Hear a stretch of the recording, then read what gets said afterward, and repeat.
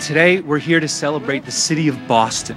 The unique bottle design of Absolut Boston is an eye catching interpretation of the city's most beloved monument, a certain green wall in left field. We are here today to unveil the Absolut Boston Wall of Pride, where Boston luminaries such as Mayor Thomas Menino, legendary barman Eddie Doyle, actress Amy Poehler, celebrated athletes Carlton Fisk, Jim Rice, and Cam Neely memorialize their favorite memories of being a Bostonian.